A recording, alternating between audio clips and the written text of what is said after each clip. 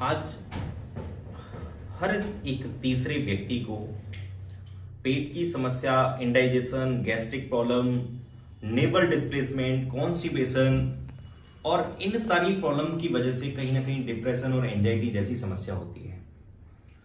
लेकिन अगर किसी भी व्यक्ति को ये सारे सिम्टम्स सुनने के बाद हम लोग अगर ये बोले कि क्या आपने कभी नाभि चेक की है क्या तो वो लोग भी नाभि पर कभी भी ध्यान नहीं देते। और इन सारी समस्याओं का सबसे मुख्य कारण जो है, वो कहीं ना कहीं नापी होती है।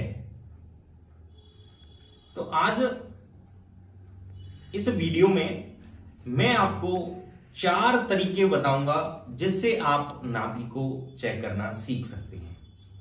और चार वो आसान तरीके जिसको कि कोई भी बंदा अगर एक बार भी देखे तो वो बहुत आसानी से सीख सकता है। देखिए, सबसे पहले हम नाभि जब चेक करते हैं तो कभी भी ये गलती नहीं करनी चाहिए कि एक अंगूठे से, एक उंगली से इस तरीके से आप नाभि को चेक करें। बिल्कुल भी नहीं करना चाहिए ऐसा।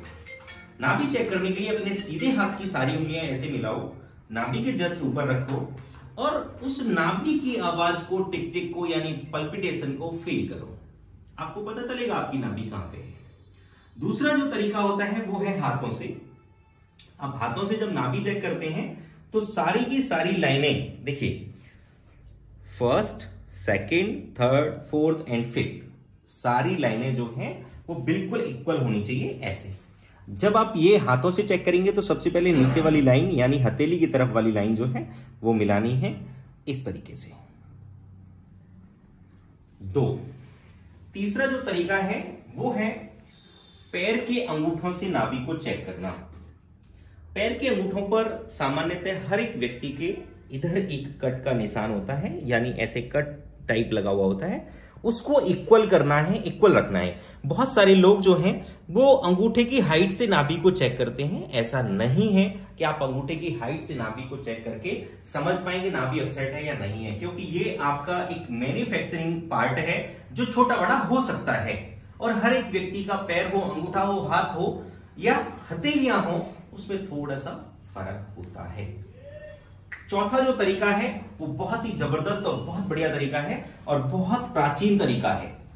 कि आप रस्सी से नाभि को चेक करें। रस्सी से जब नाभि चेक करते हैं तो एक रस्सी पर ऐसे गांठ बाँध लो आप। और गांठ बांधने के बाद इस तरीके से आप नाभि पर रखो और ये गांठ जो है, ये प्रॉपर एकदम निप्पल के ऊपर आना चाहिए। ये आप देख रहे हैं? ये। बिल्कुल सेम ये।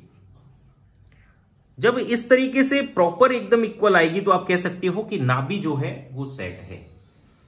और अगर ये डिस्टेंस जो है, ये अगर ऐसे आ रहा है और ये ऐसे आ रहा है तो आपकी नाभि अपसेट है। चार तरीके जिनसे आप नाभि को आसानी से चेक कर सकते हैं।